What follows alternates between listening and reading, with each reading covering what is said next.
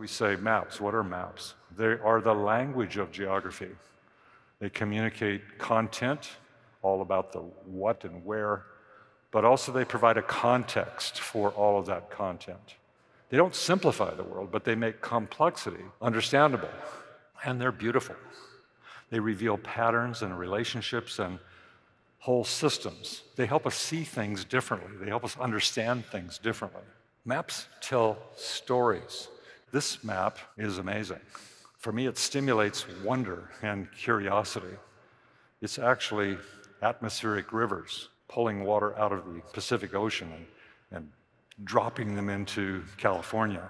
GIS and the geographic approach is providing a framework and a process for collecting all that we measure and visualizing it and, and supporting decision making and, and action.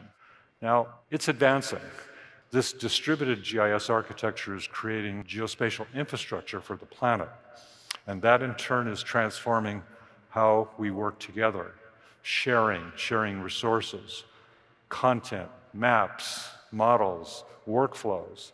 Addressing these big challenges, it's going to require everybody participating. It'll take everyone, everyone understanding what's going on and, and participating. And my belief system is GIS professionals have an enormous role to play in that.